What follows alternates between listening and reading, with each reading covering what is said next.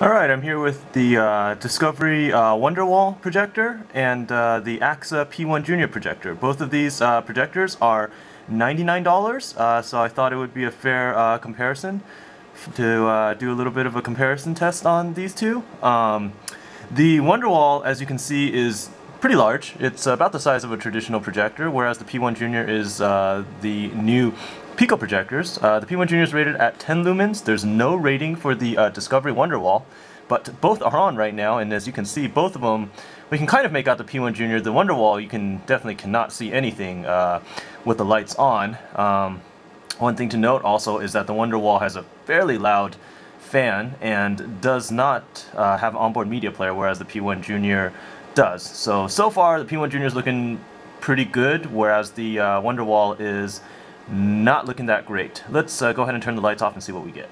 Alright, I have the uh, P1 Junior as well as the Wonderwall both on. You can make out the uh, Wonderwall's projected image uh, a little bit to the right. It's pretty dim.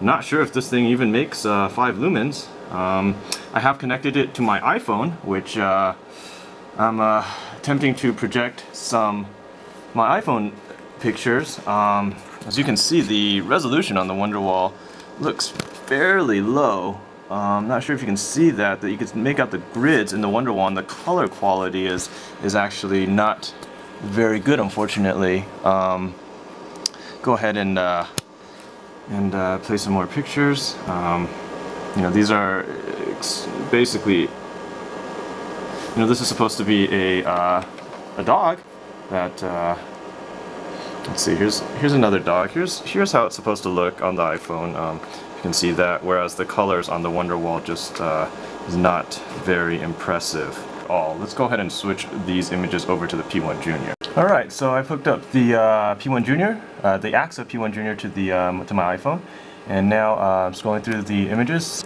In this in, the, in, the, contrast, if you notice, if you remember that the Wonderwall, when you know showing a picture of this dog, it was, uh, completely washed out. You couldn't see anything. Whereas with the P1 Junior, you can actually see the dog.